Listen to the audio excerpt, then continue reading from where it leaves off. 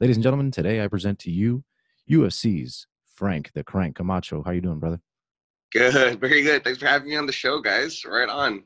Yeah, Game On Sports Podcast for everyone. Uh, this is Danny Miami, and uh, you know I'm a big fight fan here. And uh, man, I had so much fun this week because I have a UFC Fight Pass.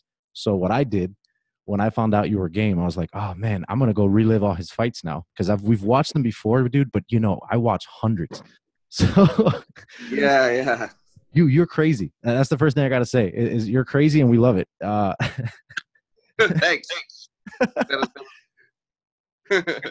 Dude, um, so yeah, man. Uh, first things first, I gotta say, three at least that I know of, you have three Fight of the Nights uh, performances, and and I would say you deserve more. Uh, you're a warrior in there, and and um, uh, you know it's just, it's just so.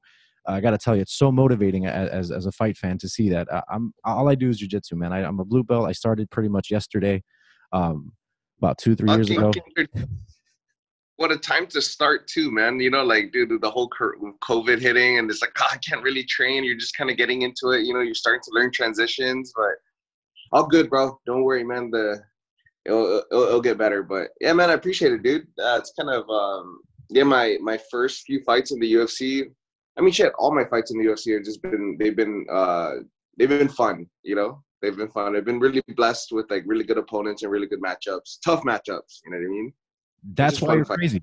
That's it's all going to boil down to, and I and I mean that in a, in a in a really positive way. You know, like crazy, like you you don't stop at anything. You know, you really are.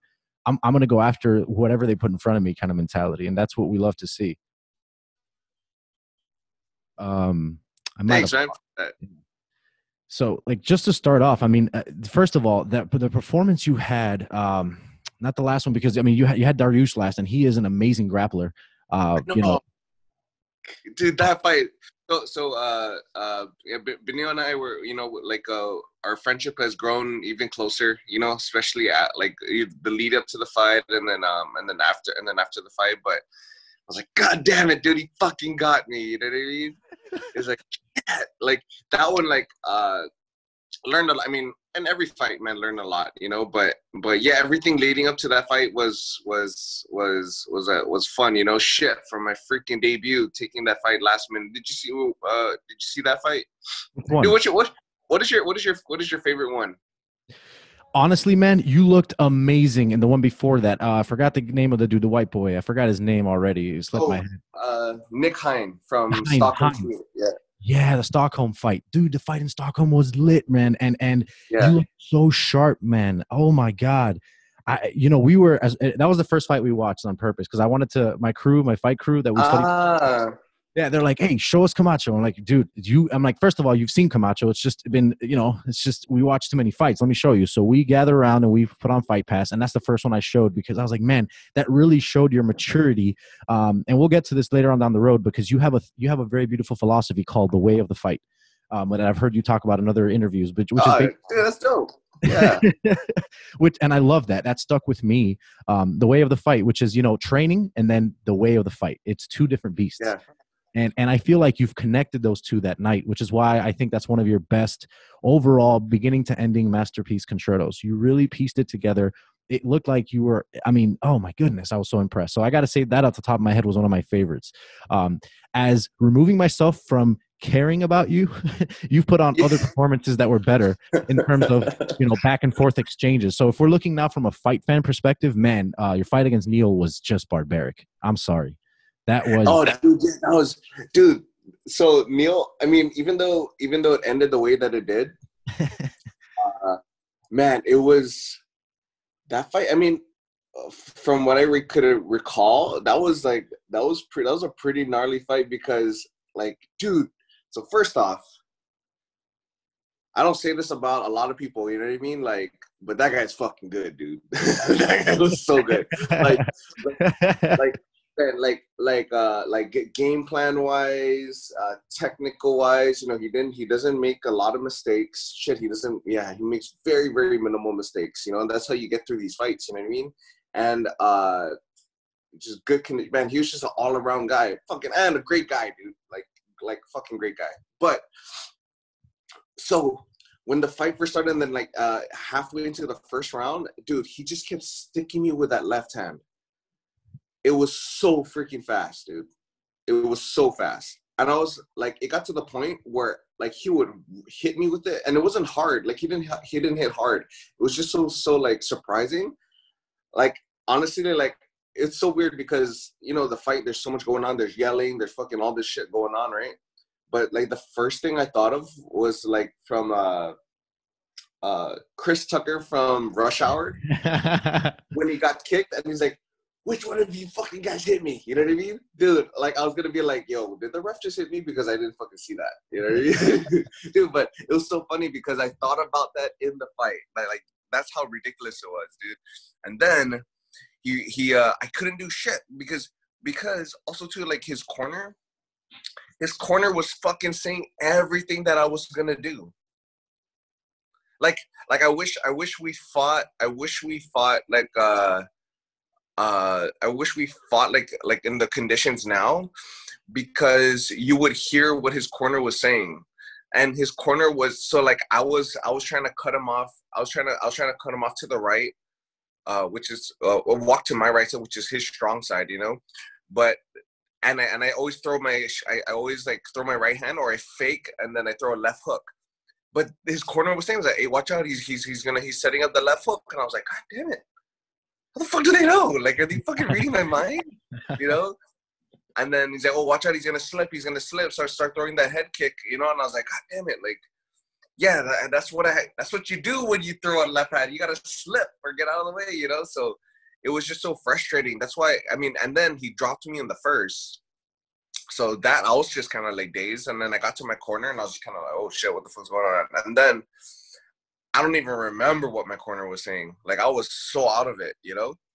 All I remember was like I was like, "Fuck it, dude. I can't do shit to this guy. I'm either fucking I'm living and dying by the sword right now." Like that. Like when I sat down, like right before they called us out for the second round, I was like, "Fuck it, dude. I'm gonna come back on my shield or on it." You know?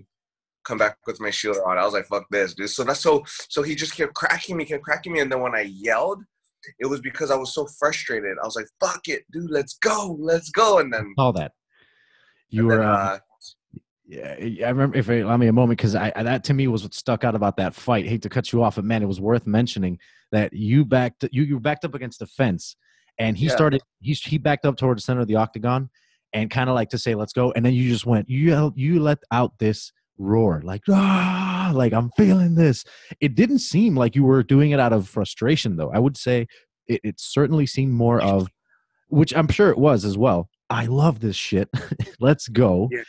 Um, this is where it, this is where this is where it's at. Unfortunately, though, uh, you know, you live by the sword and die by the sword as well. And and and yeah. he just he caught you as you were uh, bobbing. You were bobbing that direction to avoid something. It seemed, and you leaned into the kick. And of course, um, not that I know this, but that's one of the worst ways to get caught. I guess is leaning into it. I would oh, say. yeah, yeah. No, no, for, no, for sure. Because that left hand was so fast, like he just kept landing it. I was like, man, am I gonna eat these left hands all day? And then so I was trying to slip it, but and then I knew what he was setting up, but I was like, fuck it, dude. Like I'm just tired of getting, you know, like maybe maybe he's gonna throw it, and yeah. So it's just kind of one of those things, and it was uh, it was it was a good learning experience, and and because of that, I, I went down to to 55 where I fought um Nick Hein, you know. Yeah, where where are you looking to stay? Are you looking to stay there, 155, or? Yeah, man, I, I just feel so much better, dude. I just feel. I mean, fuck, dude. I mean, uh, my performance with with uh with Beneil was just kind of whack, but uh, yeah, man, I can't wait to get back in there. You know. Oh my god, bro, dude, you have no idea. You have no idea, man. Yeah this has been tough, man, because it's like you want to train, but they tell you to keep six feet distance. That's impossible if you're sparring. Um, pick one or two friends that have quarantine just like you and then train. If you go on my Instagram, that's all it is a bunch of bums in a damn basement right now. Uh, just just like hey you want to roll yeah let's roll you know it's bum jitsu you got bum jitsu going on no memberships needed just just a mortgage uh, yeah, yeah that's that's the same way, man. Just I just got a, a, a, bunch of boys that were just in quarantine and just training. You know what I mean?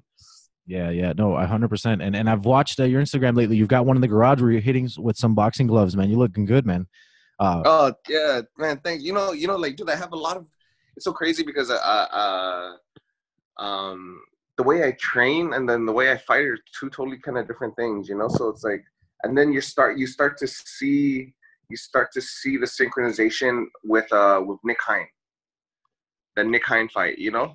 Um, and then you know, so you know, so so cool after that Nick Hein fight was I was kind of like I, I remember talking to Colin Oyama because I switched camps for that fight, I and I was like, hey, coach, man, I was like, wow, dude, I can like I can like go through these fights and not take a lot of damage. He's like, God damn it, yes, you know what I mean? Like, yes.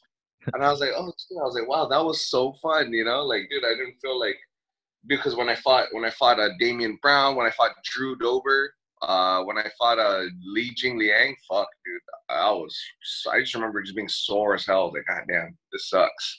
I mean, it was fun, but holy shit.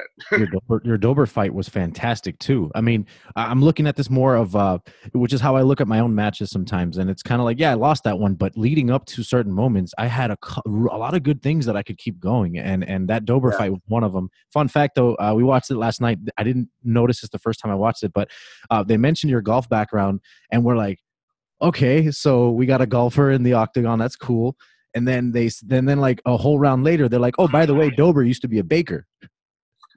Yeah. So, it was like a weird dynamic of fucking of, of, of guys punching each other in the face dude. A golfer and a baker get into an mma match. It sounds like the beginning of a joke. It's like hey no i'm trying to rip each other's heads off dude. Oh beautiful. It was beautiful violence man. Oh god. Yeah. I, I can't tell you how fun it is to, and you're that's why your fights have rewatch value, man. Eh, you put on this show that it's just like it, it, I don't care if you how well versed you are in fighting. When you watch a Camacho fight, you're just like, oh goodness, I'm tired. I I I breathe in. It's it's yeah. phenomenal. It's phenomenal, and I think that's kind of what your brand is, right? I think you figured out your fighting identity that way to just be, you know, a technical warrior. I guess. Yeah, you know, and and and I think, uh, you know, sometimes I, ha- I have too much fun you know, and and at the end of the day, right, I gotta learn how to like for longevity. But at the end of the day, man, I, I feel like it's my style. You know what I mean? Like I'm not gonna go out there. Like if I go out there and I try to like like jab and move, dude, I'm gonna get fucked up. You know, like I don't even know how to do that. You know what I mean? Like man, I'm just gonna get into your face and I'm gonna make you fight. You know, I'm gonna bring, I'm make, I'm gonna make, keep it simple. Just make it a fight. You know what I mean? Do your coaches hate seeing that sometimes where they're like frank you're you're you're you're too dangerous for yourself. You need to take care of yourself. Do you get like backlash from your corners after the fight? Like hey man what the what the crap? Yeah yeah uh well also to, well man we're we're just trying to we're trying to get get these w's but if anything it's now it's it's uh it's in the training room you know? So now it's now it's like it's so cool to see where how colin how coach uh, like otimo yama are they're they're designing programs so that we're uh, so that I'm practicing different things versus practicing being tough. You know what I mean? So it's like, hey man, it's not a game of just being tough because you're always gonna run into a motherfucker that's tougher than you, that can hit harder than you. You know, so it's like, how do you, uh, you know, so you, so now you create different systems and and games within training of how to like out position each other. You know what I mean? Like how do you how do you beat someone to a better position? You know what I mean? And yeah, you don't have to freaking let it fly and like fuck them up, but it's like uh, really using the martial art for what they're designed for. You know what I mean? They're, right. they're, they're, they like these martial arts are designed, you know, like fucking jujitsu. Dude, it's designed for the, the the smaller, more frail fucking guy that to to to to beat like a bigger, stronger opponent. You know, and for for to to help you, uh, what do you call it? So you don't take that much damage. You know what I mean? But like fucking use the martial arts, right? Don't you know? Like don't fucking like move your feet you know? So it's kind of like one of those things. Um, sometimes I catch myself having too much fun. Hey man, I'm in the game for so much for for for a, a short a short amount of time. Um, but you know, I'm trying to make the best out of it, and I'm I'm putting I'm putting a cap, man. Like at 35, man, I'm gonna be done. You know, like I see guys try to fight way longer than than usual, and you know, I haven't had like the easiest career, so uh, I just want to, you know, for the longevity of myself and my family, and and while I can, you know, when I can, just fucking just go out there and, and do the best that I can with my fights. You know what I mean? Let me, yeah, at 100%. But let me, um, allow me to call bullshit for a second because I think a guy like you, let's say you're reaching 35, okay, and and yeah. yes, a plan is a plan, right? But we all know what a fight yeah. brings is an obstruction of that plan. Let's I say at 35. Hold on, hold on. Let's say at 35, you reach like you're feeling good. You're you're Tom Brady. They're telling you you should quit. Nice, yeah, nice. You go ahead and grub, bro. I'm sure it's time to eat. Sorry, sorry, sorry. Oh, sorry. you're good, man. Just no, this, is real quality, show, bro. I just wish we had YouTube. We're not on YouTube yet, but if we had YouTube, bro, I could be like, "Yo, Frank and I had lunch, son. What's up?" um, no, so keep eating. I'll, I'll, I'll give you. I'll still keep doing your thing. I'm gonna go ahead and um, just put you a scenario because we all. I, I get. Oh yeah, I'm listening. 35 i mean that's just an age where you ideally want to be done but let's you know where i'm going with this. I'm just gonna this is just for the viewer the build up 35 Yeah. you're you made it you've made it to the top five at 155 where you say you're feeling great. Now you've got a number two coming and it's your birthday you're turning 35 you take you say yes to see what happens and you have the performance of a lifetime. Now title fight coming around the corner you're about to turn 36 or so because you had to go to a fight camp and and it's um I don't know. Let's just take a wild guess. Let's take a wild guess. Let's say Khabib. You know, wild guess. I, I don't know. Yeah. Uh, you know, bullshit. Justin Gaethje. Let's say Yeah, let's just say. Justin Gaethje. Just say Gaethje, right? Dude. Dude, how epic would it be to step in the octagon with with the the the punching bag that throws punches back? You know, the Gaethje guy who just stands there and throws back with everything he's got the way you do. I'm sorry, you be 38, and I still say you take that. I still say Frank Camacho takes that. Again, there will be a big debate in your house. Wifey involved. Wifey, everybody talking about it. Remember what you said, Frank? 35. that was the deal. So, do you take it? Uh yeah. Ah, okay. So, so you see where I'm coming from with calling a little bit of bullshit because I do feel yeah, that. yeah, yeah. You're, you're you're right. You're right. You know, so like, yeah, I guess you know timing and opportunity, right? But like, I mean, for my mind, maybe you know, just to see kind of where I'm at. But but uh, I, I mean, I'm not. You know, I definitely have goals set. You know, I definitely have goals set and and and uh, of. I definitely have goals set of, of like what I'm gonna do and and um and and my time frame. You know, you know what I mean. So. uh I'll try. I'm gonna try to accomplish that before before uh 35. But yeah, you just never know. You know what I mean? You just never know. You know. I'm, I'm just Like- cracking on you. Yeah, go ahead. Because at the end like of the a, day, like a, go ahead. We're on a delay. you, you, you know, like who uh uh what what really stood out for me was Cejudo. You know, I don't know. Maybe he might be done. Maybe he's not. But like uh I, I could respect that. You know what I mean? Like um. Man, I've been fighting since. I mean, I haven't been competing for as long as he has. You know what I mean? But it was just so cool. uh, for a guy to to to be honest with himself, with himself that way. You know, maybe he might come back for the big. You know, he and he hasn't been getting the big money fights that he's been wanting. You know, but hey, man, like fucking, I I I, I could dig that. But the scenario you just gave me, fuck, dude. We're, You know, that. and I'm being a straight up asshole with you because I know what you mean by I'm done at 35. It doesn't it doesn't mean that there's no Yeah. exception. It just means I built a framework around which goals I want to reach, and this is this is what I plan now. You Yeah. know, just to have a, a a framework of where I want to be. I totally 100%. get you. yeah yeah I totally get you. I, I just like to to push the edge a little bit because I know that we all have that inside of us where it's like yeah, this is this is the plan, but if the fight goes crazy, I'm switching it up as needed. Same thing with your career and all that. So, uh, uh, real quick, because I, I do want to talk about the more recent stuff in UFC uh, news and stuff. But there's one thing I gotta compliment you on, and not just because you're here, but because I'm a big fan of grappling. I don't remember the dude you fought, but there was it was a fight before the UFC. It's on YouTube. I'm, I'm sure you know what I'm talking about. You were in a rear naked choke. Um, it looked solid. It was an Asian name sounding thing. Oh, um, man, you know, honestly, I mean, I hate to be racist or whatever. I'm kind of Asian, so it doesn't really matter. But it was like Park or something like that. Gwyn Hugh Park or some shit. Like, I just know. I That's it. That's it. right. That's it. That's it. You Dude, were- that yo, dude. So there's a story with that freaking guy. So I fought the guy 170, right? Actually, 175. I'm not a big guy, you know. I'm, I mean, I'm, I'm definitely I'm, I'm like a smaller end welterweight, but uh, we weighed in. He came in from Korea. We weighed in, and me and my boys were just kind of like, "Oh, dude, we're gonna fucking smash this guy. Yeah, dude, we're gonna fucking get him, dude. He's so skinny, he's so frail, dude." When he filled back up the next day, we were like, "Good God, he looks like a freaking light heavyweight, bro." really He was massive overnight. overnight. We're like, what? We're like, damn, dude, this guy fucking sucks so much water, dude. So anyway, so it was to the point like where he we would get into the clinch and my corner would say that I disappeared. Really? I mean, maybe the video doesn't really do it justice, but he was just a big, massive guy at fight night, you know. So I was just like, oh shit, like, and then I like I, it was crazy because I was a point I was at a point in my career to where like, hey man, I've been doing I've been chasing this dream like for so long and I never got to, you know, like hey, you know, maybe this is this might be my last fight, you know, so I did bare minimum for that fight camp, you know. I was kind of like I was, I was, it was either man I was gonna do this fight and then maybe another one and if I don't get the UFC call then hey you know what maybe I might just hang the gloves you know what I mean like I was really at that point. Wow.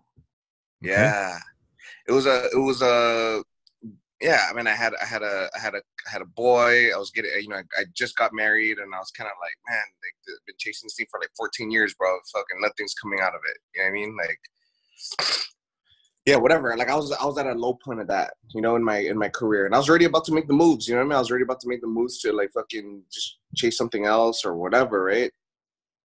And then like that just happened to be a fucking crazy ass fight, dude. It was. Oh shit! Yeah. Yeah, and uh, you know what made it better too was the crowd. It was a small crowd. Holy but shit. they were they were so into it, dude. They were just yelling and whatever. But anyway, back to the question, right? That that that choke. I, I don't know what it was, but I just remember. So I remember I dropped him with a body shot. I went for a guillotine for I don't know why the fuck I went for the guillotine. I'm not a guillotine guy. Instincts. And then I had this fucking 205 guy on top of me, fucking pounding an elbow. Dude, he threw an elbow and like his the sharp part, the sharp part of the elbow. No, this is cool because like I'm telling you, like you know, like all the different intricate parts of the fight, right? For sure. Like, his the tip of the elbow fucking hit me right in the eye socket, dude. And I was like, ow, like I can't see shit. I was like, whoa, this is crazy. And then that's why I turned over. I turned over and then he cut my back and then and then we scrambled again, then he cut my back again, then the choke was in. And I just remember like it was weird because like I was I was gurgling and then he gave me the he gave me the uh, and then and then he he he chilled for a little bit. I was like, boom, I was like, this is my only opportunity. If I if I don't if I don't like twist out or try to get out of this thing, I'm fucked, you know? So I ended up, I don't know, I, I just fucking got out.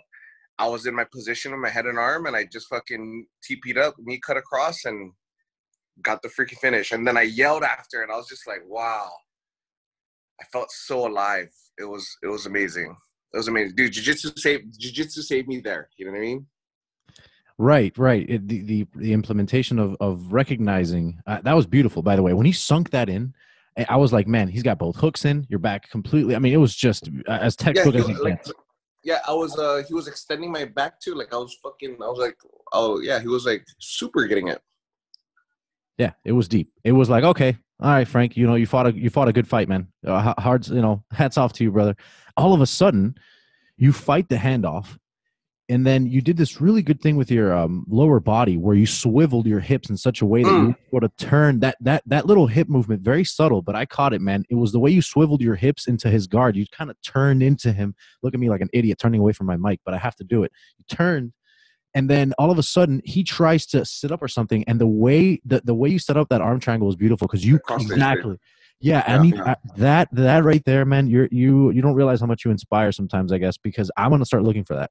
Like even if I don't get the triangle, at least I have a, a control point when I when I'm in guard. Because you were first in half. You had to put shoulder pressure on the mat, get your butt up, you know, like the pyramid, get your butt yeah. up, kick kick the leg off from under you, get the mount, and then you just kind of work to the side to finish the the head and arm or the arm triangle, right?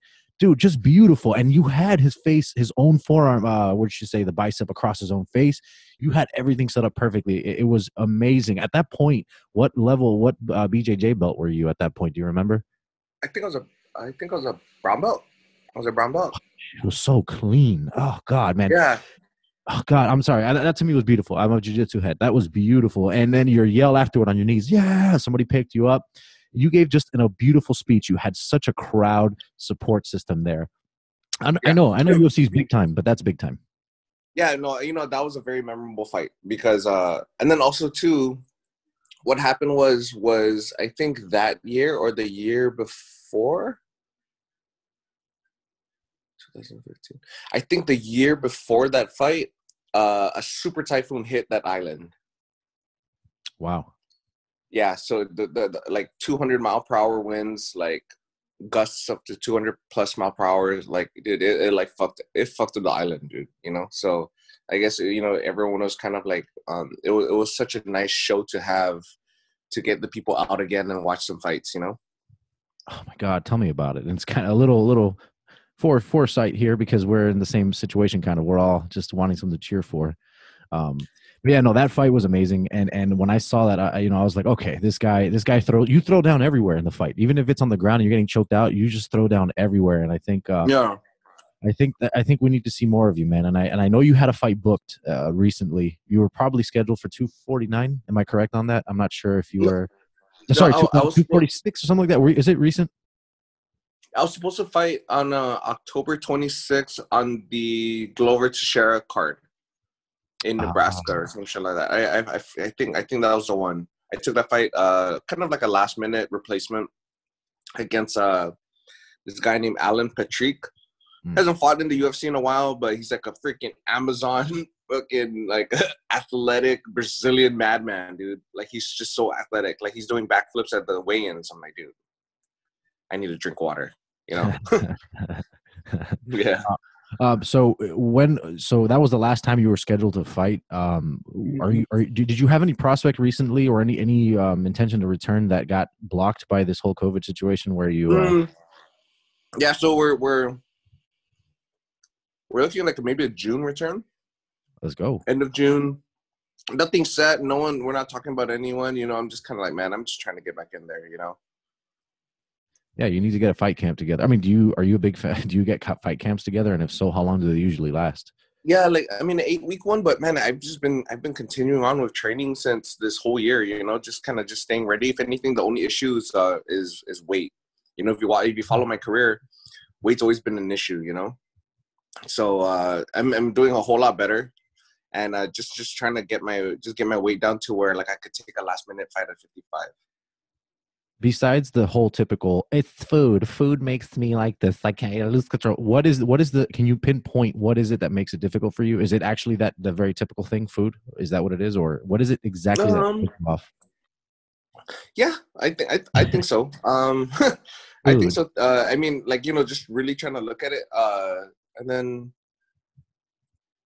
yeah, I don't know, man. It's genetically like fucking I'm like my island boy. Like I'm just fucking like you know. Say here we go, here we go. Like look, you're making forcing me to look for fucking excuses. No, man, because I'm just big bone, dude. I'm just big bone, you know. But yeah, I think it comes down to to just the the, the discipline, the diet. You know what I mean? Man, that's uh, that's the first fight that you sign up for when you sign up for a fight. You know, I hear. Yeah, bro, you're fighting the scale, dude. You're fucking fighting, dude. My my fight, my fight against um uh, in Australia where I missed weight against Damien Brown. Mm. So that morning I was 157, 157, 158. But I was so dehydrated that I, I had the, my coaches had to hydrate me just so I could walk to the scale. That's why I weighed in at 160. That's unbelievable. It's wild, dude. Yeah, like almost fucking died, dude, in the hot tub, bro. They're like cooking me in the hot tub. Yeah, so yeah, yeah, so you know, so that so that's why I went up to 170, and then I'm now I'm back to 55. But now I'm working, you know, just uh, you know, all all these experiences kind of like have uh, you know, paved the way to to the results that I'm getting now. You know. 100% man and um, on that note uh, who do you want next man who, what's a name that if you had to fight next uh, that's within uh, realistic parameters in terms of the rankings. Um, you, I know your goals are to make it in the top 10. Obviously, it's everyone's mm-hmm. goal. And you've talked about this in other interviews that I've watched. But what is it? What Who's the next guy for you? Who's somebody you're interested in fighting? And then I'll ask you another question. Conor McGregor, you're taking everything I worked for. No, I'm just kidding. I think you're cooler. Um, from I'm from Guam. It's a cooler story. Let's go. Yeah, I know, right? Dude, um, you know, you know who I would love to fight and I think will be a good fight. Thinking about it now is uh, and I've been and I've been uh, I've been Instagram stalking him, dude. But man, such a cool dude, fellow Islander. Uh, I would love to to share the octagon with um Yancy Medeiros. Medeiros, holy shit, that'd be uh, that'd be fire, straight fire. Yeah. Uh, didn't he fight? Uh, did he fight Cowboy? Lando Vannata. Oh yeah, yeah, yeah. That was fire. No, but Medeiros has some sick fights, and I've been there live for him. I just can't remember which arena it was right now. Damn, my, my memory is failing. He fought. He fought both cowboys. He fought uh Cerrone, and he fought his fight with the. Uh, yeah, the Brazilian cowboy. Brazilian Brazilian cowboy. That one was a crazy one, dude. That that was I was there. That was I either Chicago or Detroit, one of those two. I'm telling you, I was there. I was there. Wow. That we lost our shit. We lost our shit. We lost our shit. We just said we. I just saw fire that night. I don't need to see more. It was amazing. Oh. That fight was gangster. Um, I was also there when Overeem knocked out. Um, sorry, when Overeem got knocked out by uh, Ngannou, and let me tell you, that was killer too.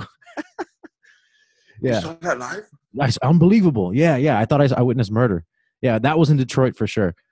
That was in Detroit. Oh, yeah, dude. We uh, since I live in Indiana, everything connects. You know, you got Chicago, you got Indianapolis, yeah. you got Detroit. I'm like in the center of all. And by the way, I'm from Miami, Florida. I don't want you to think I'm some. Uh, I'm actually, you know, like a, like a what is it? Um,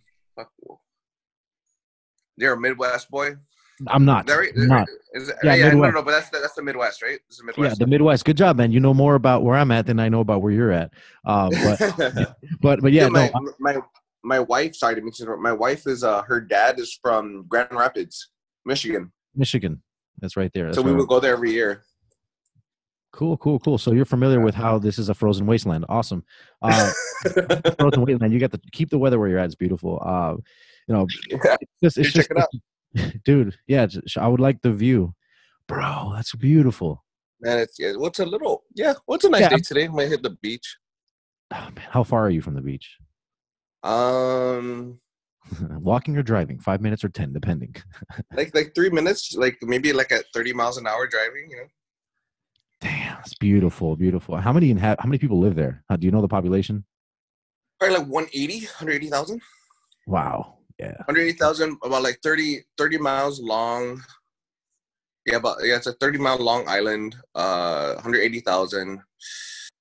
Fuck. Yeah. I guess so. Yeah. Uh, 80 degrees, 85 degrees all year. Oh, man, I fucking hate you. I know, dude. Dude, hey, I, am from so Miami. So no, but it's beautiful, man. And uh, I know, I was just kidding. this is like really good weather. you uh no so your last name camacho when i first heard it back when you had your debut back in 2017 i, I heard that you were from some place i didn't uh, know a lot about like guam i mean i know it's a u.s territory and all that but that's yeah. it i have no uh, and then how, so how, do, how does this work how does this uh, heritage thing work where you have hispanic sounding last names I was just curious. Yes. I don't nothing to do with fighting. So, I mean, uh, I mean, I'm probably not the best guy to talk about like history or anything. oh man, but, class is in order. Yeah, yeah, yeah, but but so we were colonized by uh, so the Mariana Islands is a chain of 14 islands and uh and and Guam, and so the indigenous people were called uh, the name of the indigenous people are Chamorro people, you know Chamorros. So we're mm. from from like uh we're Pacific Islanders from the region of Micronesia. So, hmm. so okay, so there's there's Micronesia, there's Melanesia, there's Polynesia, and then there, you know, and Polynesia. So you know, you have guys like from Samoa, they're Polynesian, you know. Hmm. And then you have Melanesian people, and then and where we come from, uh, the so you look at the Pacific Ocean, there's a shitload of little dot islands in there. Yeah, yeah, so yeah that's it, it. It's separated. Yeah, kind of like West Coast, East Coast, whatever, right? So we're Micronesia, and uh, so we're Micronesian, you know. Um, so we were colonized by the Spanish. I don't even know the date, dude. I need to fucking do my. But, but yeah, like a few hundred years ago, and that's the reason why, like, our language and and and a lot of majority of our last names are are Spanish. You know, kind of like you know you go to Brazil and you, and, and it's like huge like Portuguese influence or or in like South America we're Spanish, you know, because like we're we're just uh, colonized by the Spanish, and then uh, then uh, you know then World War II, and then and then kind of got juggled around juggled around with like colonizers and shit, and then now we're U.S. territory. Sounds like there was a game of of Monopoly, and you guys were just like people rolling the dice, landing. Ah, I'm gonna sell this. I'm gonna go landing again. Yeah, yeah. I'm gonna give. I'm gonna give these guys. You know, so so that's so that's like a huge identity thing going on here. You know, um, kind of like the Hawaiian Islands, but uh, but but because of where we're at, like in the Pacific, strategically, like uh, like for the U.S. military, it's a it's it's a it's it's a very like important part of like having this area to control the whole Pacific. You know, mm-hmm. we're three hours from Japan. We're four hours a flight, three hour flight from Japan. We're four hours from from Australia. We're right smack in the middle. You know, so that's why we have a huge uh, navy base and a huge air force base here. Hmm. That is that. Does that get noisy? Um, no, I mean it doesn't get noisy because it's in the northern part of the island and the southern part of the island, but it's like a you know there's there's a huge military influence here. Yeah, that's one of the things I read, and I was that's why pretty much I asked you the question because it's like there's got to be with, with, the history combined and all this military stuff. You guys live in a very very uh, peculiar like, particular part of the world. It's it's just super yeah. interesting here in Guam. So yeah, yeah, we're far, dude. It's it's a hike to get here, dude. I, I need to know this because we're talking about islands and all that stuff, and I'm sure you've heard it. I don't know how much intel you get. I mean, you're you know I don't know, but Fight Island, how real is it, and what do you know that you're allowed to say without getting your head chopped off? Man, uh, honestly, I have no idea what the heck it is about. I don't even know where. I'm trying to, you know, like you know, here I am. I don't. I'm here trying to think of talking with all my friends. I'm like, man, I think it's here. I'm even trying to get it under my manager if he knows, but he's like, dude, no one fucking knows. I'm like, like, I mean, Fight Island would be kind of cool, but it's just be going to another island like where I'm from, you know. But I mean, it's packaged probably really nice, you know. Yes, think about it. Like, think about it, dude. It could be like a Disney World for fighters, where you go and it's just arena, hotels, and a couple of places in between, and then you have beaches, and then it could be a vacation spot for for couples who want to go to like do a honeymoon and then catch a good fight. I'm just saying it's historic. Now during the whole and people love calling it the situation we're going through it's like bro just fucking say it everybody's thinking it i hate when I, have you ever gotten that on a, on a text message or phone call you know I, I was trying to get out there but i couldn't because of this whole situation i'm always yeah. like what, i'm always like what situation fucking say it say it damn it it's not a bad word situation and, and, hang out with people, it's like an STD, man. It's like, yo, whoa, whoa, whoa, hold on, hold on. Who have you been with? Where, what, wait, wait, no, no, no. Let's talk about this. How many people have you seen in the last two weeks? And, yeah. and, what, what the, and who have they been seeing? this, yeah. shit, this is absolute shit. But it'd be historic for you, man, to imagine.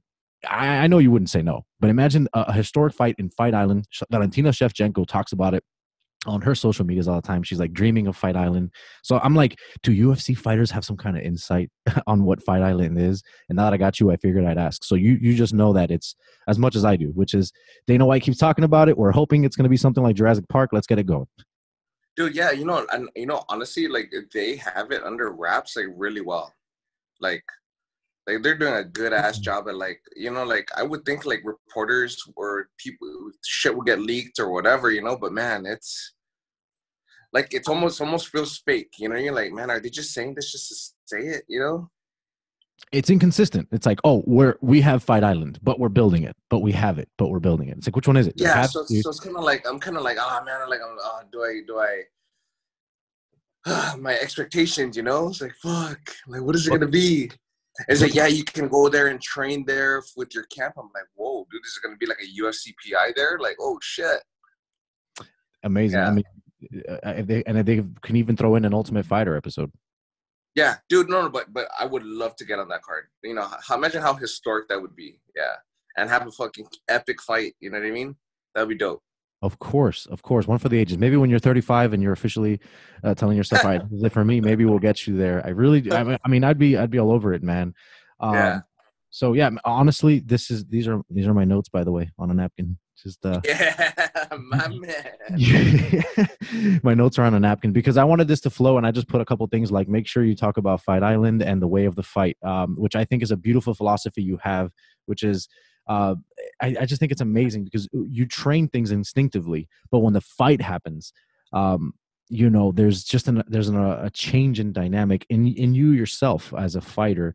Uh, do you you seem to respond well? Do you like that that feeling of not knowing if you're prepared as much as you thought. Like there are times where the fight evolves into places where maybe you're like, oh man, do you like the feeling of the unknown? Meaning they've got you in a clinch, he's stronger than you thought. Uh, I, it seems to me like you're addicted to it, and that's something that, that I've always wanted to ask someone like you. Like, how how do you deal with that mentally? What what what do you go through in your mind to when the fight evolves into places that are not necessarily the fortes you trained in? What what do you say tell yourself to keep fighting through it and finding better positions? So there's so there's uh back in the day I, I, I worked out and trained with a guy named uh, Roddy Ferguson, um, judo Olympian, multiple time uh, national champion. So you know to, to be to to represent the U.S. in in the in the Olympics in judo, you have to be a bad freaking guy, dude. You know. Anyway, he had this mantra and uh, it really stuck with me, man. And I and I've really t- taken it to heart, and I continue to take it to heart it's it goes like this um, again again again you must program your mind to have no endpoint and program your mind to look for another opportunity to go again again, again, again. So bars. Yeah. You know, so so it's kind of like it's like whoa shit, you know, like uh you know, so you see so I mean, it, yeah, I guess it, it, I and I guess that type of mantra, that philosophy, I I, I like to I, am comfortable in it so that when something new comes up and where I have to dig down and I have to like like oh shit I am tired but I gotta keep going forward it's like I'm like fuck yeah I love this shit. Now now you're getting you now you're you're you're you're you're joining me you know and now you're coming into my world dog. I'm tired but I'm gonna keep coming you know what I mean?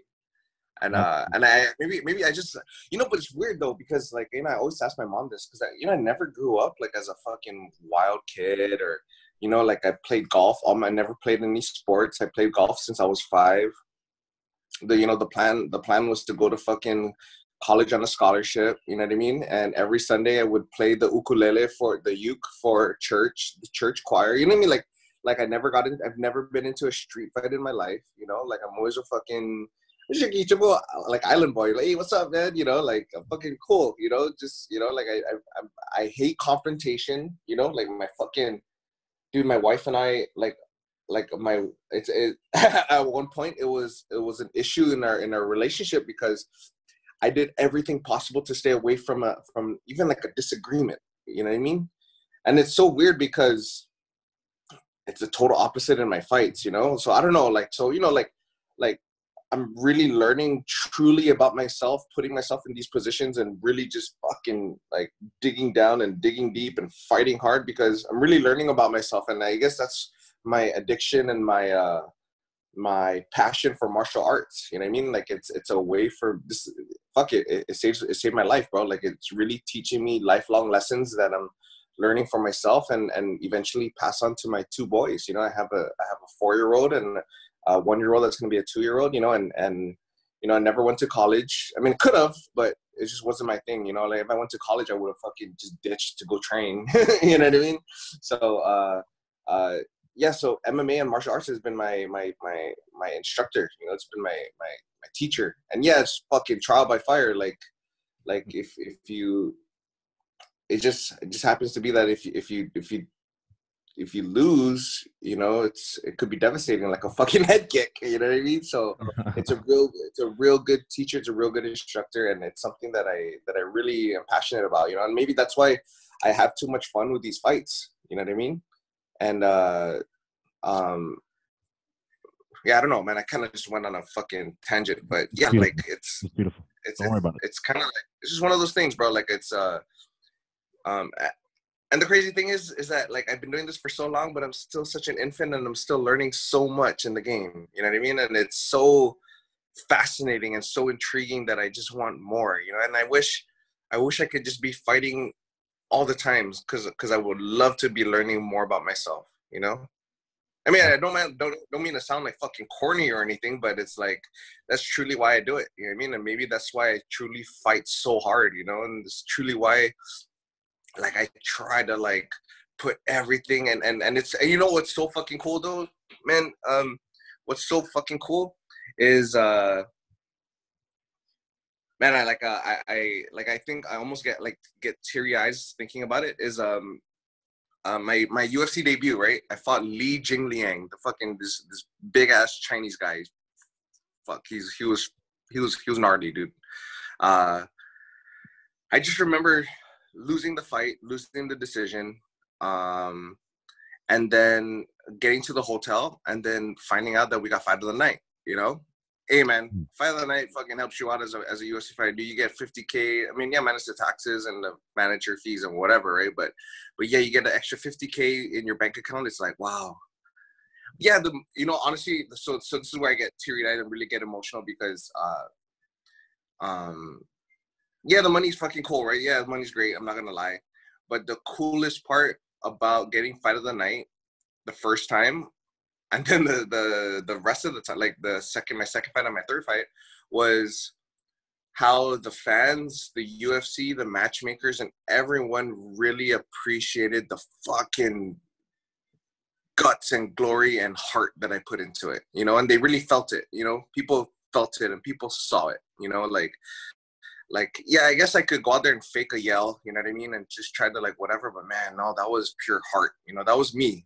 That that was that was me that you saw that that everyone saw there and that was me that the UFC matchmakers and the UFC staff saw and and, and they awarded us the fight of the night you know and uh that was just so that was that was just fucking cool dude you know like and i'm constantly learning about myself even more you know what i mean and that's why i want to put a cap at it uh you know at a or at least around a, a, time frame, you know, because I feel like if I continue to do it, uh, do it more, my age will catch up and and it will just be more devastating than than positive. You know what I mean?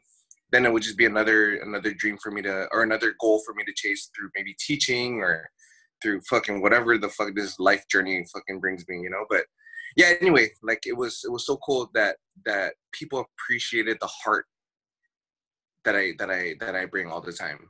You know, so so you know, so when I get messages from you guys, I'm like, hey, can we have you on the podcast? Is like it, it, it, like like it makes me feel so good. I'm like, wow, man, these guys really want you know. And then you're talking about how my fights are. It's like, wow, you know, like that's really nice because uh, uh, man, I've been doing this for so long, bro, but it's so cool that other people can appreciate it. So, so for the kind words, man, thank you, brother. I appreciate that, man. Oh, come on.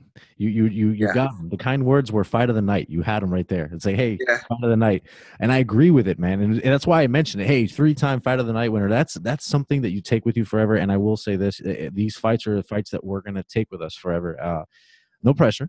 Uh, but I think you nailed it on the head, man. Uh, you know, I don't know if you ever saw the famous tweet that Adesanya uh, texted Gastelum, and I'm sure you saw that fight. And if you didn't, I'll give you my oh, fight pass account. I'll give that, you my no, yeah, no, that fight. I, I I just watched that like the other day. Dude, holy shit! I've watched that fight maybe four or five times since it happened, just just just to relive it. Yeah. Um, I mean, technical and just powerful. And and one thing Adesanya said to Gastelum, which I think is what you just nailed on the head, and it's something that all fighters will agree with, is you know um, that was truly some. Epic, I forgot what he said. I was epic shit, something along the lines of that. And then he says, "I know you now, and you know me." You know, those words, I'm sure, it kind of resonates with what you just said, bro. You saw me. Yeah. So this is it. This is me, and 100. percent 100 percent, bro. Because it's like um, you know, there uh what do you call that? I think Anthony Inoue, he he comes from like the the he got it from the Bushido or fucking I don't know where, but for for he who sheds his blood with me today shall forever be my brother, you know, and uh, so Leech the Li Jingliang, fuck. I mean, I would love to talk to him, but he doesn't fucking speak English, so I can't fucking communicate with him. You know, like I tried tweeted, I, I I, like I tweeted tweeted him one time when he was gonna fight uh, after my fight, and he said something, and I was like, dude, your Google Translate fucking sucks. Okay, I'm not gonna message you ever again. Cool dude though.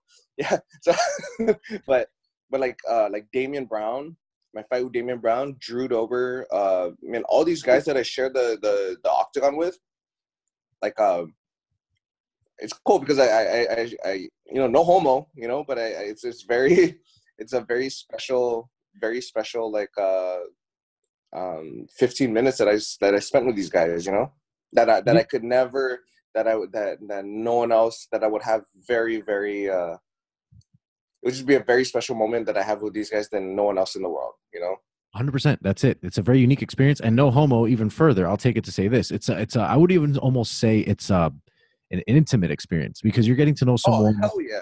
Yeah yeah. It's, and that sounds really homo but you know what i mean by intimate. It's it's very mm-hmm. unique in itself and it's very exclusive to, to very few people who will ever get to know you that way which is why adesanya mm-hmm. said uh, you know, I know you now, and you know me. You heard me breathing my last. The last. That's bars, man. I'm sorry. That's bars again. We're gonna be spitting bars all day, but.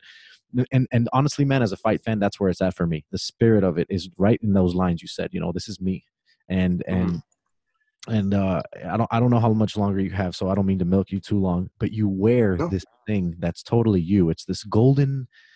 You know what I'm talking about. Go ahead. Just oh yeah, the necklace, bro. What is the necklace? Let me do. Fuck a word where is it? I don't even know where it's at. if you, if you uh, whip out the necklace, I'll take a picture of it. But that necklace, it, it feels like it resembles something very uh, deep and has a message, something deep for you, kind of like a poker player's bracelet or something that they wear.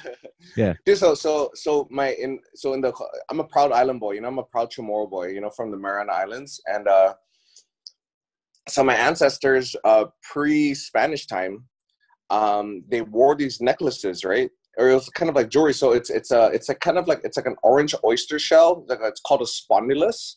Spondylus. And spondylus. Uh, S P O N D Y L U S. Spondylus. Okay. So it's like a spondylus. Yeah, you should search that. Um, yeah, go ahead. so it's like it's like a but the the shells are so hard to find and the the one the necklace that I was wearing, uh, a friend of a friend of a friend made it from one of the northern islands of my island chain group in the Mariana Islands, you know.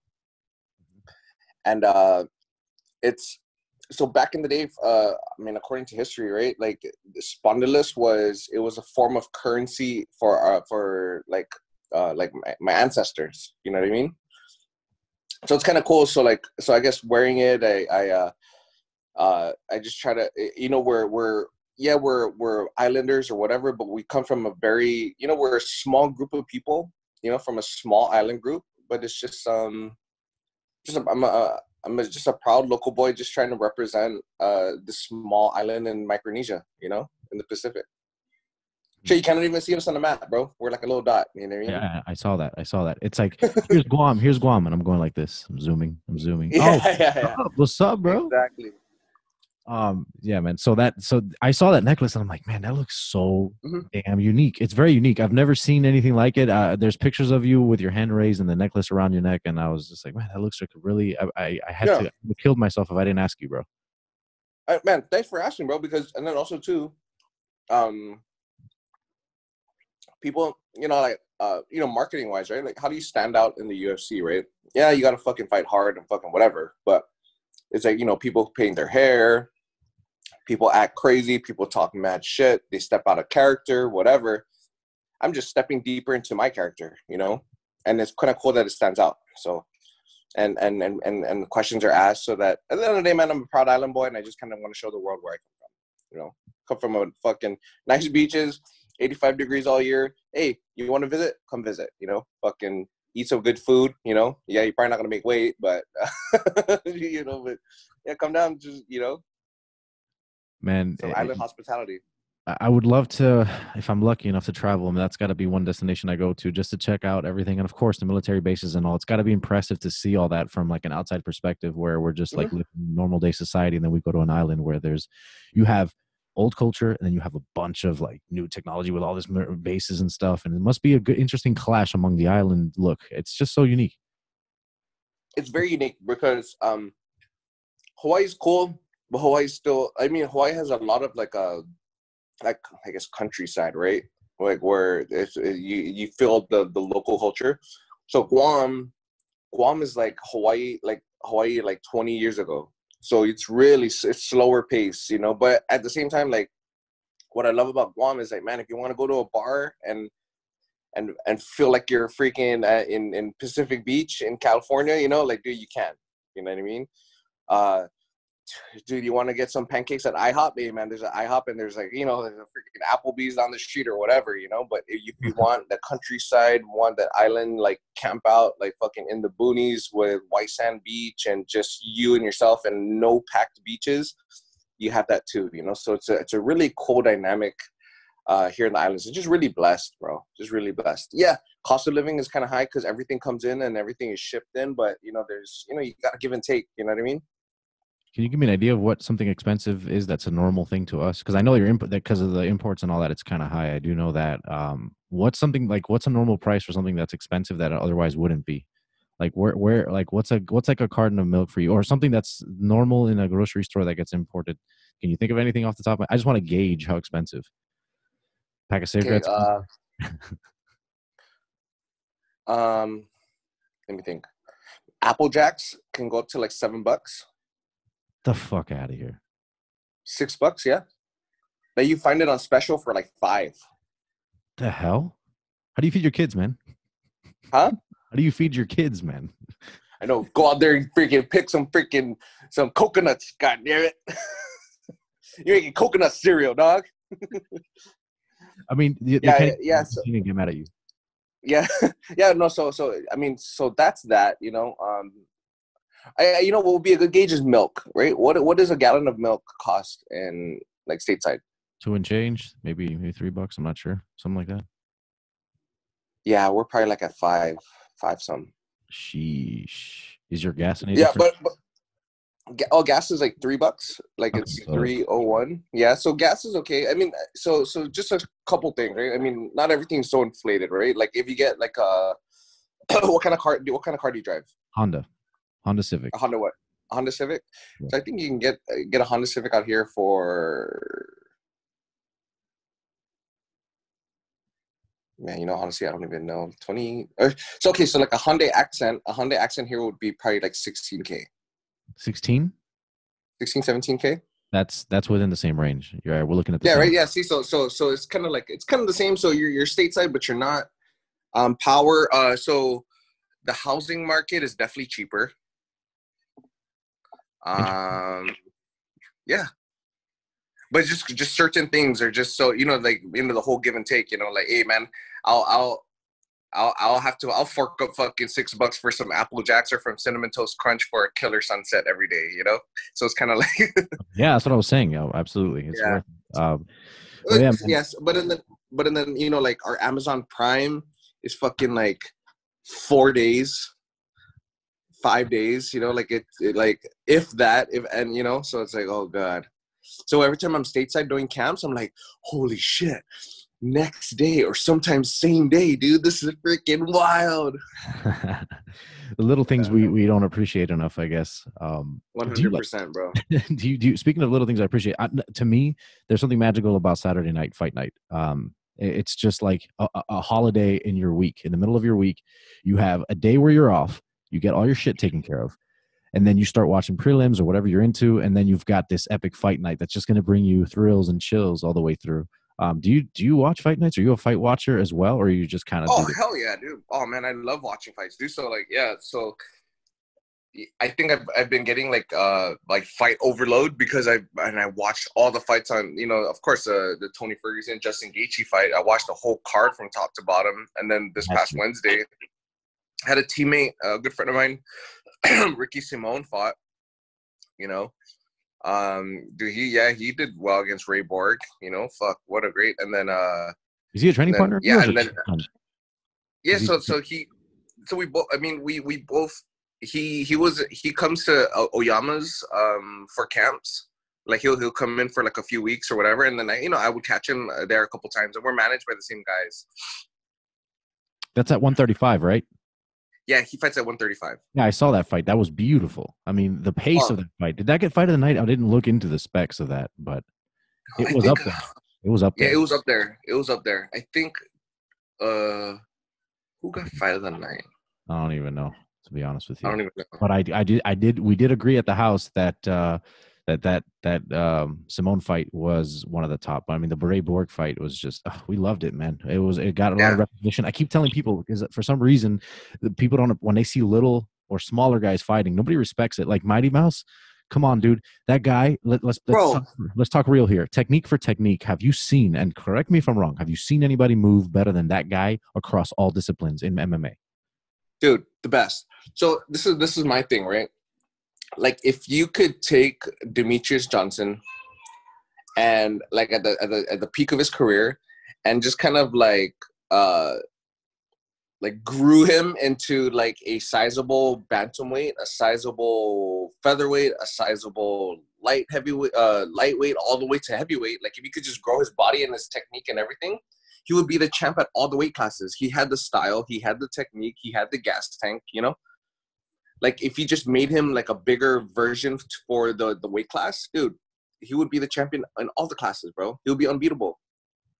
what did you think about the submission he hit? Now that we say Ray Borg, that's kind of what connected in my brain. Did you see the the pickup, the little slam pickup to an armbar transition he made? That's just unreal. Okay, man, unreal, bro. Unreal, you know? And the crazy thing is is that he's been doing that for years.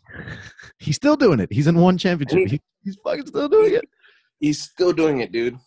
Yeah, um, you know, and what's sad about it is that he, a guy like him, it's gonna it's gonna be tainted. He's tainted with this one thing that happened, which was, and I'm sure you know it, when Dillashaw came around and said, "What's up? I'm here. I'm dropping down to your weight class." All of a sudden, Mighty Mouse was nowhere to be found. And I that that yeah so so the way that this is the way the fans see it now of course you know more than anyone that what ha- happens behind the curtains and what the fans think sometimes and oftentimes is not what aligns. Like for example, Khabib got accused of not wanting to fight Ferguson. Khabib's not afraid of anyone, bro. Like stop the bullshit story. He's not. Yeah. He just didn't have the clearance to leave Russia, and we get why. But going back to Mighty Mouse, he was, uh, you know, the, the, this is the way we fans see it. You know, he was on top of the world. He had answered all the challenges that were in his weight class. He had, you look up the top ten, he cleared them all, even with a knockout over Benavides in the rematch. Um, and now you've got a guy coming down who's saying, "Hey, I'm ready to fight you," and we, he didn't supposedly didn't take the fight. And I think once that happened, I think Dana cut him, traded him for Ben Askren. Yeah, traded him for Ben Askren. I know. I, I don't know, man. I'm, you know, I'm, I, I really, I really wonder what happened there. You know, like uh, me too. Me too. Me too. But you know, that was, I think, for his family, that was the best move for for Demetrious Johnson. And I was going to ask you that on the inside of things. You know, he probably yeah. career decisions. Yeah, uh, definitely career decisions. You know, and even Eddie Alvarez. yeah, Eddie's another one. I, I, brawler from hell. Man, that's you, a guy I would love to fight eventually down the line. You know, but unfortunately, I might I might not cross paths with him ever. You know. Fuck that. No, no, no. This can't happen. You and Eddie or you and Gaethje. And by the way, when Eddie and Gaethje fought, I was also there. That that knee knockout, I was also there for that. It was on the same time.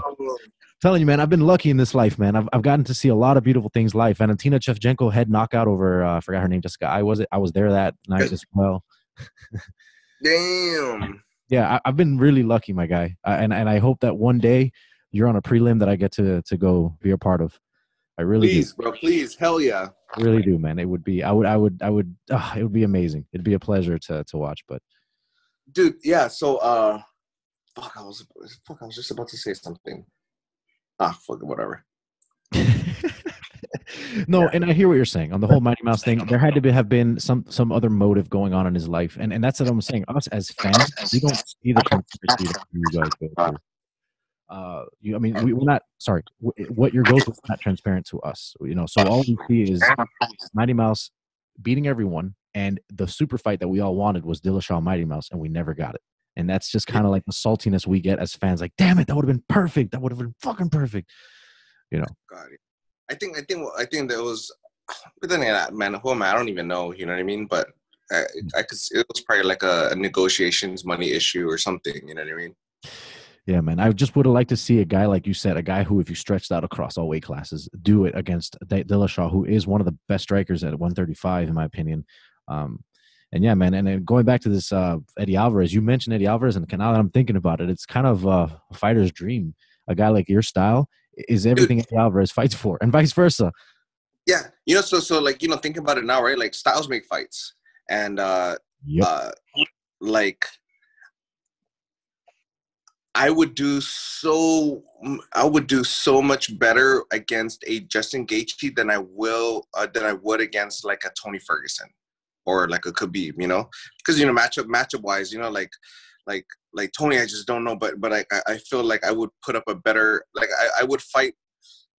Oh, it would be a more entertaining fight with me and Justin Gaethje than it would be for me and Tony, because Tony I think would just uh, it would just be different. You know what I mean? Like his his style is different. He might roll to a leg lock, and I'd be like, ah, fuck, what the fuck? You know, like you just, you just don't know. You know what I mean? You just you just don't know. But uh, style makes fights, and and and Eddie Alvarez is one of those guys that I was like, fuck, man, is one of the one of him that I, I would love to have shared. You know, you know, another guy that I've always wanted to fight back in the day was uh, I, and he's, and I think he's still fighting. Brady, I think he's still Gilbert Melendez. I would love to fight him at 55. Did you watch the Diego fight? Yes. That's oh, what I yeah, picture, that's what I picture you guys going down if you guys ever fought. That's the only way I see it happening. Yeah, and then Diego, Diego's another guy too, you know, uh, that that we've we've been trying to get. Diego would be great. Um, and not to take anything away, but he's nowhere what he used to be, right? And and sure. and I think I think it's still a big name though because he was the nightmare for a long time. Up until he fought BJ Penn, everything for him was upward. After yeah. that, after that first round against BJ Penn, he just you, you could just feel it. And then after that, his career was never the same. And and I think that um, you know, th- th- this is how fighting works, right? No, no, no, no. It's nothing personal. It's just you know, you're on a decline, but you're still enough of a name. I'm on the rise. Let's go. Like let's meet right here. And so, so career wise, career wise, say that would be such a smart move for me. I, I would think so. Yeah, and and it would be an entertaining fight. Uh, it would be a good fight, but uh, yeah, I don't know. He's I know Diego's just stuck at fighting at 70, 170, even though he's like a, he's he's a he's not a big guy, you know. Um, you know, he's he's he's always been a wild man. You know, I mean, he just he just don't know what he's like thinking of or whatever. But he's it works for him, and he's he's getting through it. And he's a uh, you know, I I've vibed with him a couple times. Man, just a great just great martial artist in his own way. uh, but dude, would love to would love to share the cage with him. You know.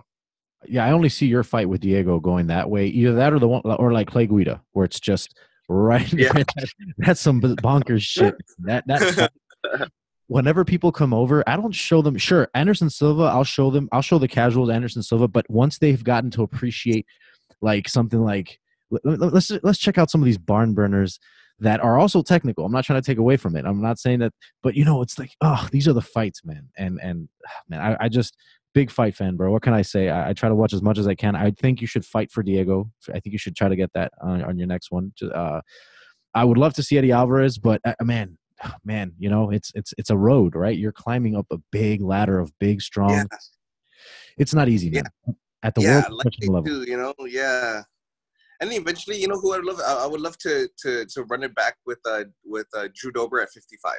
I think you know, but but uh eventually, of course, you know, like he's he's on a he's on a tear. I and and I understand that, and I and I would love to work my way up to where we can meet again. You know the Dober fight was fantastic. It brought out a lot of good things in you, man, and it exposed how you can handle even. I mean, Dober is a guy. You look at him. I don't know how he can even make 155. His shoulder, his shoulders and arms won't let him. It won't. Dude, and his legs, dude. yeah. You look at it. Yeah. So when I saw him at the weigh-ins, I was like, "Good God!" Like I even told him too. I was like, "Man, Drew, fuck, don't kick me too." Eh? He's got rugby like, legs plays rugby. He looks like he plays rugby. That's exactly what it yeah. looks like. Oh my god. I, I agree with you. I think I think you at 155. I think I think that and Dober. But again, good luck having a, a wildcat like that cut down to 155. That's the unfortunate part. Yeah, yeah. So man, Hey, listen, Frank, you, you've been uh, uh, super, super amazing to have. I mean, you're, you're a great guy, great role model. Uh, you, you, know, you spoke a lot to the hearts of the fans here. I mean, that's why we do this, and that's why I'm moved to do this podcast. Is because I want to, I want to just have uh, sincere, decent conversations with with good people that train, love their craft, and especially if you come from a very what we call exotic place of the world where we don't know much about it, we get to hear your story. Um, it means the world to me, and and I I will be spreading this for all my listeners. You know you're you're you're more than a fighter, but man, we love the fights too. So thank you, man, for real. Oh man, fuck, I appreciate it, brother. I really appreciate it. And hey, dude, thanks for having me on the show, dude. I fucking no, always, man. Thanks for the opportunity, man. Appreciate it. You thank you. No, this this opportunity. If you, I'm sorry, it's always gonna feel more for me. But uh, stick around for one second. And when we're done here, I just want to ask you one last thing. Otherwise, guys, yeah. game on. Uh, you know, we're on Twitter and Instagram at Game On Everyone. Game On Sports Podcast. Check us out. Uh, I'm Danny Miami here with your boy, of course, Frank the Crank Camacho. We didn't even talk about how you got the name, but it was given to you, and that I, that much I know. Dude, oh, you want me to you want me to cover it? Dude, you want me to you want me to explain to you how I got the crank real quick? Okay, we'll, we'll run it. Thank you, bro. Go. Okay, so my first fight ever. So my first fight ever it was it was in a dude. It was in a it was like a freaking dog kennel, dude so it wasn't even called MMA at the time. It was called NHB, No Holds Barred Fighting. You know, and uh, and uh, so what happened was my my my coach at the time, training partner, he wanted to throw a fight in Saipan, where the island that I'm from. It's part of the the Mariana Island chain, right? So he wants to throw a fight. So he he was going to rent this boxing ring because we're we're huge Pride fans. Then it was like we wanted Hell to be yeah. Pride fighters, not UFC fighters, you know. And and people from Japan, like Pride fighters from Japan, would always come to uh, come to Saipan to vacation and train. So you know, so we, we were exposed to that. We're like, whoa, what the fuck? You guys are coming here, whatever. Okay, anyway, so there was this the boxing ring fucking fell through, and because boxing was kind of like shining, like there were there were like they, they were huge MMA haters at the time. You know, what does this cage fighting stuff? You know what I mean? So anyway, so what happened was Cookie Alvarez was like, "Fuck it, dude. we're gonna build this cage. So he built this freaking galvanized rectangle fence with bars across it. Dude, you got to check out my highlight reel because it's it's it's in my highlight reel, like my first highlight reel that I ever made. It's in there. You see like bars just going across the middle part where you're like, dude, you can like fucking break your spine, you know? And then I'll look for, I'll look like, yeah, and it was a. It's called a. We called it the. He called it the rectagon. You know, it was a rectangle, but you like gotta wreck someone. You know, it was so corny. Yeah, and come to see how what yeah works how how you how you got my name. So he was the announcer of the event. You know, it was, it was like a small little fundraiser event, and I was the I was the main event. The 16 year old kid fighting on a trench tech Saipan, you know, fighting this fucking whatever wrestler guy, and he by the by the end of the night he was already drunk. You know, it was kind of tipsy. So I didn't want to have like a, a a fight name or whatever, you know, but he just mentioned or he just said like the nearest thing that sounded like that rhymed with Frank and it just happened to be crank and it was like Frank, the Crank Camacho, and then I was like, oh shit, okay, fuck it, whatever. That came out, and then after the fight, I won via slam. I double legged the guy and I slammed him on his head, and I won. You know, I was like, oh shit, fuck, dude, that was fucking exhilarating. My first fight ever. Takedown KO, like he hit his head, it was over. Yeah, it was over. Yeah. Shit. Yeah, it was crazy. Uh, I never shot a double leg in my life, you know. dude, so yeah, so anyway, I uh so I won, and then and then after the fight, it was like, hey, Crank, good fight, man. Hey, Crank, good job, bro, good. And then I was like, oh shit, fucking. And then it just stuck. So I was like, dang, Cook, thank God you, you said, you didn't say like, Frank the skank, you know, or something crazy. You know what I mean? Like, oh shit, if that thing stuck with me, I would fucking hate you. Oh so, shit. Frank who stank, here you are, bro. What's up? like, dude so so so yeah that's how i got my name man. There's nothing you know there was no real crank or i wasn't known for cranking people or whatever but yeah i could have just stuck with it you know what i mean? And, and that's how i got the name. Frank the crank it, it, works man and and it works for me too man. I'll take it. It's a, it's a nice story. I appreciate the extension. I didn't i didn't expect that uh, yeah, yeah, Ben, for your charisma and for your time and, and for everything you represent as a, as a martial artist, athlete, human being. Thank you for sharing this time with me. I know you got a lot of cooler shit to do, so thank you. Thank you, brother. Thank you. Take care, Frank. Well, ladies and gentlemen, that's Frank the Crank Camacho. Uh, we'll see you again for next episode from Game On Sports uh, podcast for everyone. And this is the Fight On segment. So whenever you go listen to these episodes, Frank, if ever you're curious, mm. uh, it's it's it's called Fight On. I do the Fight On part. Uh, Got so, it stay tuned, guys. See you later, Frank. Later.